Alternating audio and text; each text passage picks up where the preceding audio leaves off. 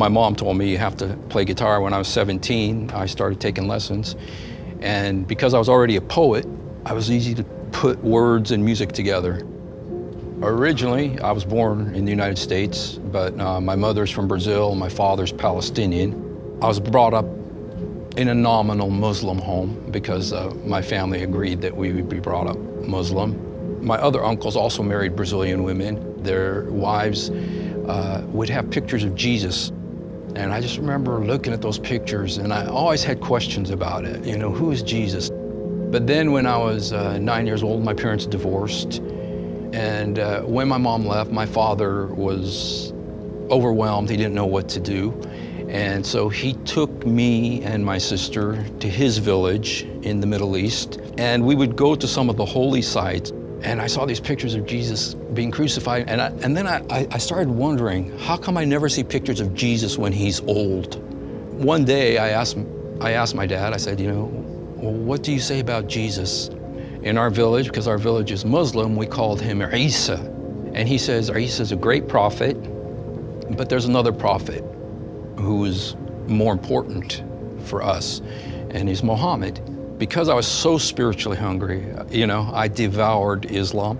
I believed in it. I was fully convinced about it. After three years in the Middle East, I came back and I wanted to come back to America to preach to Christians so that Christians would become Muslims because I believed that Islam is the last religion, uh, the last prophet, and the last book. One thing that I used to do is that whenever I would walk by a church, I would spit at it. Whenever I see a telephone pole, I would look away because it's the shape of a cross.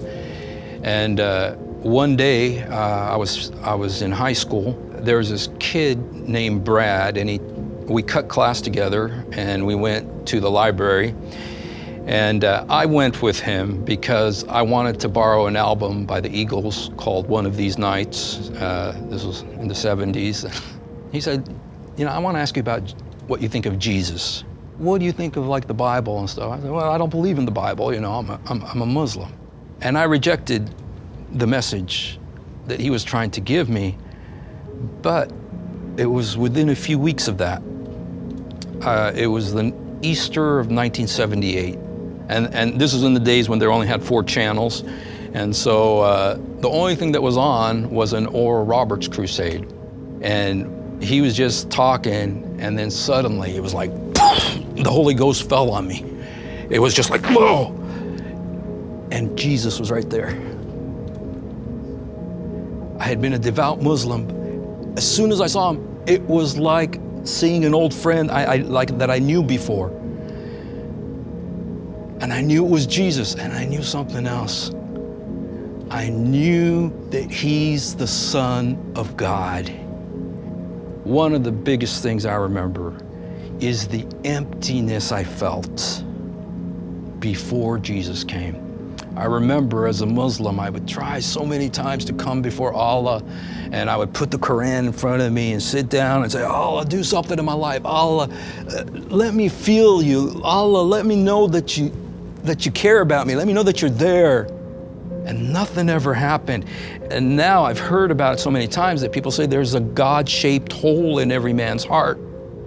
What blesses me is what Jesus said to the Samaritan woman. He said to her, I have water. If you drink of it, you will never thirst again. And when Jesus came, He gave me that water. And man, it changed me. It was so powerful. And when I came home at night, my dad said to me, uh, he says, Hussein, you know, it's my Arabic name, Hussein, sit down. And I sat down, and then he said, uh, We're family, aren't we? And I said, Of course. He says, We're Arabs, aren't we? And I said, Of course. and he says, We're Muslims, aren't we? And I didn't know that much about the Bible, but I knew that Jesus said, If you deny me before man, I will deny you before the Father. And I said, I said, uh, no, Dad, I'm not a Muslim anymore. You know, he took a shoe, threw it at me, and then he, he asked me to leave the house. And I became very rebellious, and eventually my dad kicked me out. And when he kicked me out, I went to live with my mother in uh, Reno, Nevada. And when I went to live with my mom, my mom is Catholic, and she allowed me to go to church. And so I started going to church, and uh, I just started growing in the Lord. And I mean, it was just such a, a, a, powerful time, and the miracles, and the joy, and the peace, and my life was so radical. It was so full of the, the love of God. It was shortly after that, you know, that I felt the burden to go to the ministry. I wanted to go to my people, the, the Muslims, specifically the Arab Palestinian Muslims, to tell them about the Lord. I believe that our job is to plant the seed. We're not supposed to convert people. We're not supposed to convince people. We're supposed to plant the seed. Jesus said, you know, that the sower goes out to sow. And so I want to just plant the seed. And I, and I know they're going to reject it initially. But if the seed is there, the Holy Spirit can come at night like he did with me and then, you know, do a miracle. And, and that does happen. When I was in the Holy Land, I did many ministries. I was involved with the church there. I was involved with street evangelism. I was shot at, you know, my, my car was shot once because I was mistaken for an Israeli settler. I was, you know, threatened. You know, one time I had a, a guy call me and said, he asked me, where are you? And uh, I was in Gaza City at that time, not at my home. My home was in the south of the Gaza Strip. Don't come to your home tonight because they're going to come kidnap you tonight. But another ministry that I did that I, I, is that I used to sing with the kids, and I did many songs with the kids that I, I wrote specifically for the kids of Gaza.